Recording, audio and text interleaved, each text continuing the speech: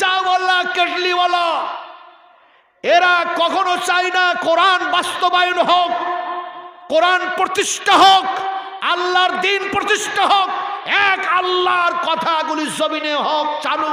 এরা কখনো চাই না।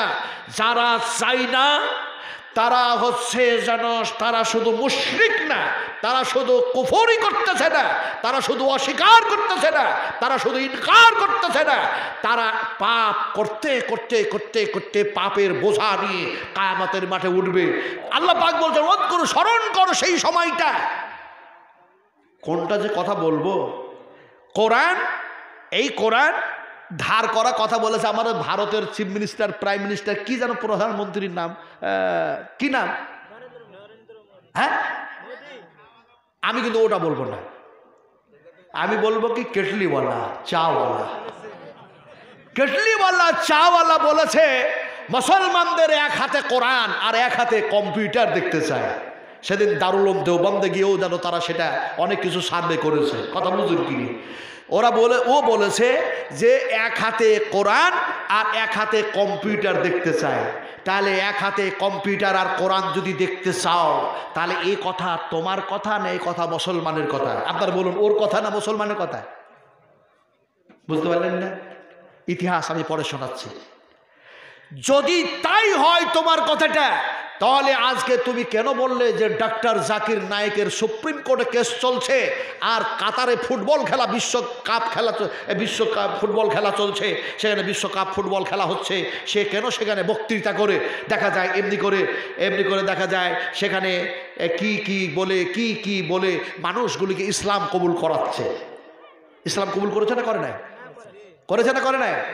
কোন কোন জায়গার লোক? কোন জায়গার লোক? হ্যাঁ?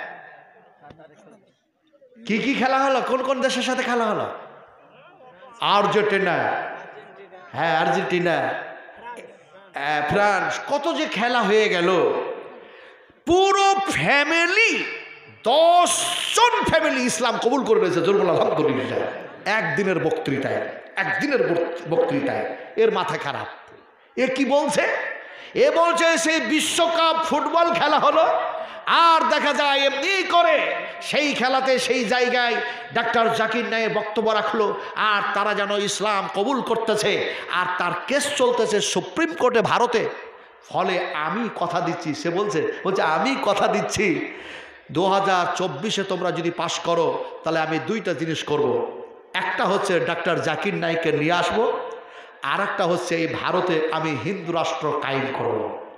তাহলে কোরআন কায়েম করতে চেয়েছে কিন্তু মুসলমানের কাছে ভোট নেওয়ার জন্য সে বলছে যে মুসলমানের এক হাতে কম্পিউটার আর এক হাতে কোরআন দেখতে চায়। এ কথাটা তার কথা নয়, একজন মুসলমানের কথা। জরুল আলহামদুলিল্লাহ। কোন মুসলমান?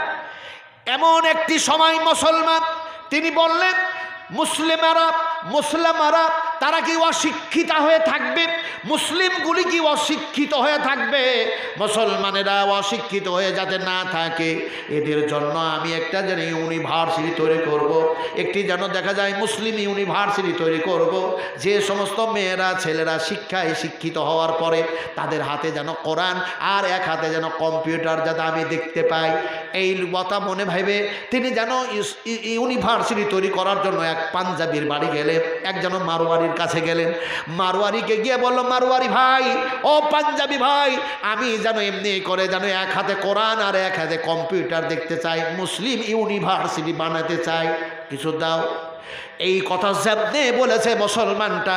সঙ্গে সঙ্গে যেন মারোয়ারি লাঞ্ছিত করল, ঘৃণিত করল, পদতলিত করল, লাঞ্ছনা গর্জনা, অপমান অপদস্থ করল।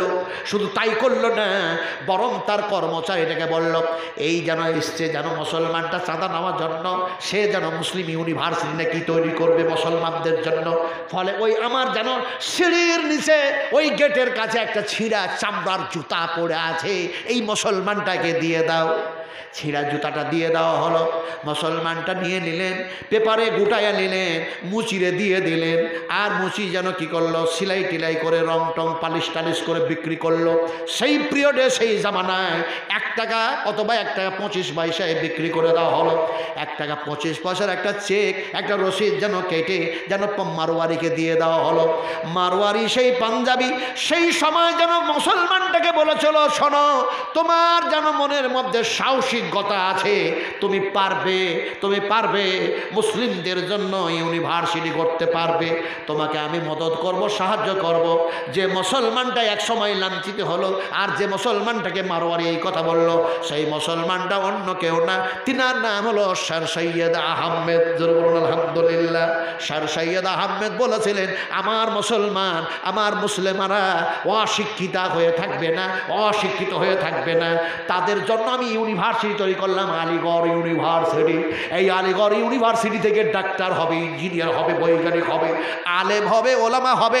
এমনি করে যেন দেখা যায় প্রফেসর হবে, যেন এমনি করে প্রিন্সিপাল হবে, সব যেন হয়ে যাবে।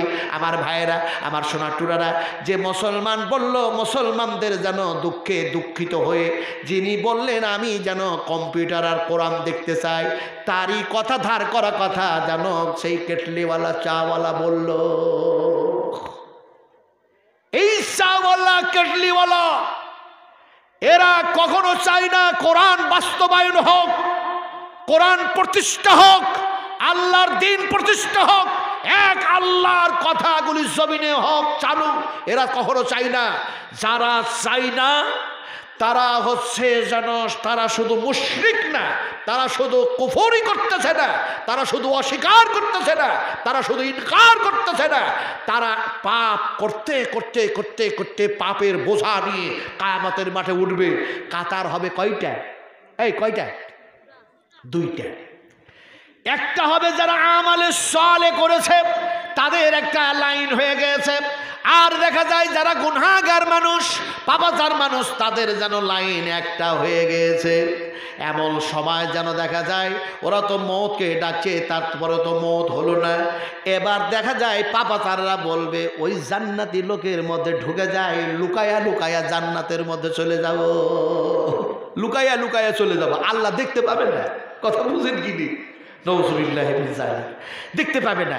এখন যখন ঢুকতে যাবে এক ঢুকতে যখন যাবে জান্নাতির দলের মধ্যে, সেই সময় আল্লাহ পাক তাদের ঘাড়ে ধরে টান মারা করাবে বাইর করে দেবো এই দলের মধ্যে কেন ঢুকে? এরা দুনিয়াতে জুলুম করেছিল, অন্যায় করেছিল, অত্যাচার করেছিল। আমি আল্লাহ অত্যাচারই নয় আমি এদের উপরে জুলুম করব না। আল্লাহ পাক যেন বলেন, আমি জুলুম করব না। আলিয়াউমা কাসাবাত লা اليوم. إن الله سريع الحساب. আলিয়মা আজকার দিন লা জুলমাল ইয়াউম কাউরে উপরে আজকার দিনে জুলুম হবে না, অন্যায় হবে না। আজকে তো কেবলমাত্র তোমাদের কাছে হিসাব দিব। তোমরা কোরআন মাফিক চলেছিলে না কোরআনের বিরুদ্ধে চলেছিলে? আমি আল্লাহর হুকুম মেনেছিলে, রসুলের তরিকায়, আমার নবীর তরিকায়। না, তোমাদের মতবাদ যা ছিল তাই দিয়ে তোমরা সেগুলিকে প্রতিষ্ঠা করতে চেয়েছিলে। আজকে হিসাব আমি নিব, ছেড়ে দিব না। কাতার হয়েছে দুইটা। এখন গুণাগারেরা ওই কাতারে ঢুকতে যাচ্ছে। আল্লাহ টান মারা করাচ্ছেন। কেমন করে এক্সাম্পল দিয়ে বুঝায় মরণ আব্দুল হক। ইসলামপুরি আর আমি। ওয়াজ করে আসছি উত্তর চব্বিশ পরগনা ঘোড়ারাজপুর মাদ্রাসা থেকে। শিয়ালদাতে চেপেছি কাঞ্চনজঙ্ঘা তো ওনাকে ওই জানলার দিকে একটু বসতে দিলাম। যেহেতু বয়োজ্যেষ্ঠ মানুষ, আমি ওনার পাশে বসে আছি। কোথা থেকে একটা যুবক সেই হৃষ্টপুষ্ট হিরো, সে যেন কোট, সুট টুট পরে এসে আমার জাঙে একটা হাত, আর মৌলানার জাঙে একটা হাত। এই জাঙে হাত দিয়ে বলছি একটু একটু একটু একটু একটু একটু করতে করতে জাংটাকে ফাঁক করে মধ্যখানে বসে পড়ল